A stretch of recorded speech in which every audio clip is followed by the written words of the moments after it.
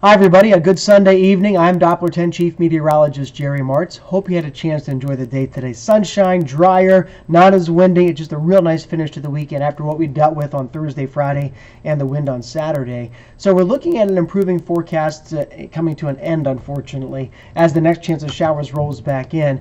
We are going to see a cool and a dreary start to the week with a chance of showers really for Monday and Tuesday.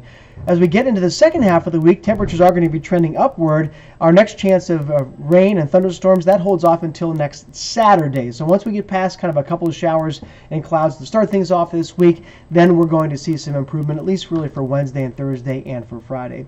Tomorrow morning, not the case. A lot of green, a lot of rain. It's going to be a wet start to the day. Temperatures only in the mid 40s. By lunchtime, we are going to be drying things out just a bit. Mostly cloudy skies, temperatures in the upper 30s to the north, around 50 to the south, around 50 in between for Metro Franklin County and Columbus.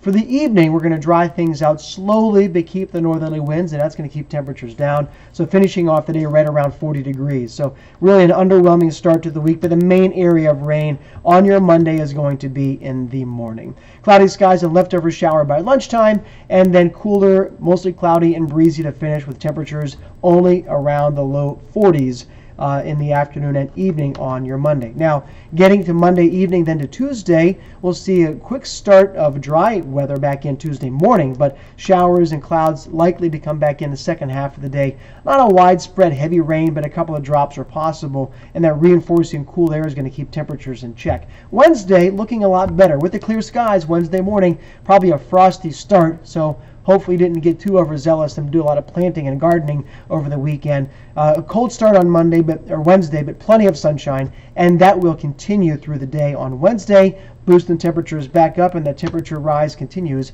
as we get into the middle of the week.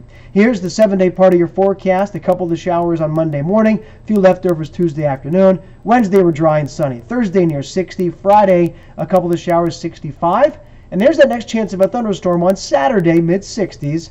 We'll dry it off and cool it down on Sunday, but right back into the 60s again Monday, Tuesday, Wednesday, and also is the next chance for a few more of those showers. So we'll see you again tonight at 11 o'clock after um, the basketball preamps news this evening. And don't forget, you can always catch us on air, online, and on the go. Download the free 10 TV mobile app. Enjoy your evening, and we'll see you tonight.